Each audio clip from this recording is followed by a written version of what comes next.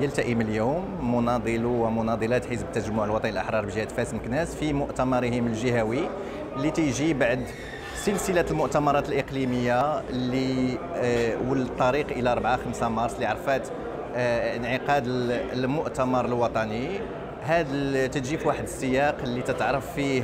آه، المغرب واحد السياق اقتصادي يعني آه، استثنائي واللي جينا إحنا اليوم باش كمناضلين باش نعبروا على الدعم ديالنا لا مشروط للحكومة ديال السي عزيزه خنوش اللي تتبذل واحد المجهود كبير في الصمود أمام الأزمات المتتالية اللي خارجة عن اللي جات مستوردة من الخارج واللي اليوم إحنا كمناضلين